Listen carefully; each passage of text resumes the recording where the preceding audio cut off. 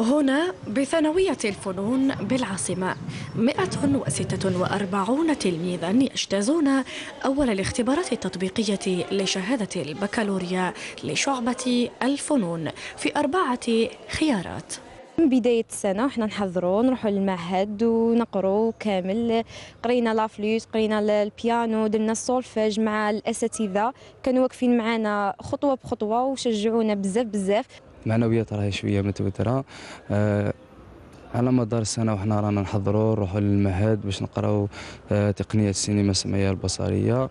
واليوم الحق باش نبينوا قدرات تاعنا واش قرينا على مدار السنة. ولإنجاح هذه الاختبارات الأولى من نوعها كل الظروف المادية والبشرية تم توفيرها لصالح التلاميذ. أول بكالوريا فنون عبر الاختبارات المسبقة في هذه الثانوية والتي ستدوم يوم واحد وهو اليوم. الخيارات كما تعلمون هو كاين سمعي بصري كاين سينما كاين مسرح. وكاين فنون تشكيلية.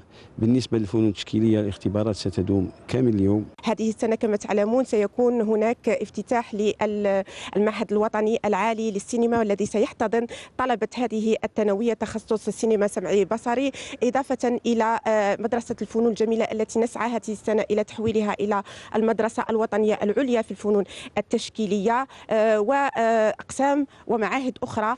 مرافقة بيداغوجيه تضمنها السلطات للتلاميذ إلى ما بعد البكالوريا من خلال توفير هياكل ومؤسسات في تخصصات فنية متعددة.